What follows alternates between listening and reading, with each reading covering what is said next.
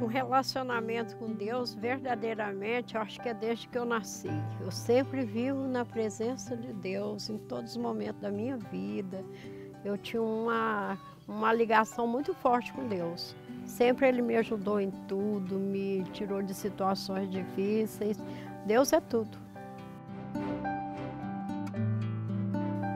A gente era feliz, muito feliz.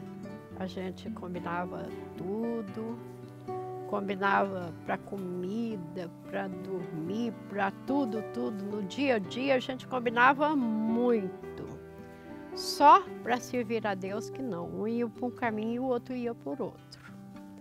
Era como se ele fosse para a direita e eu fosse para a esquerda.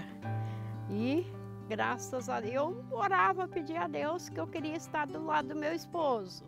Mas foi muito difícil nós entrar num acordo. E eu acabei que quem teve que acabar cedendo era eu, não era ele. O defeito era em mim.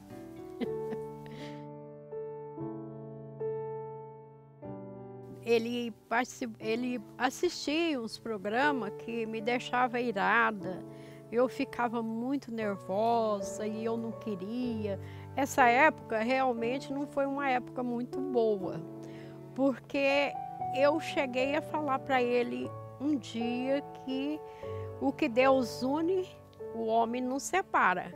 Mas havia um homem que estava separando nós dois. Eu não gostava e não queria, e sempre angustiada com aquilo, e cheguei a desligar a televisão na cara dele, do meu esposo, porque eu não queria. Eu não queria. Mas aí eu entrei, comecei a orar, pensei assim, meu Deus, vai que ele está certo e eu estou errada. Vou orar a Deus para Deus fazer a obra, né? Porque se esse homem conseguir separar eu do meu marido, eu acho que vai ser muito difícil.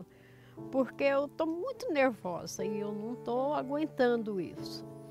Aí comecei a buscar Deus, buscar Deus, até que um dia deu uma ventania aqui um vento assim que veio não sei de onde e veio uma ventania e tirou do ar aquele programa.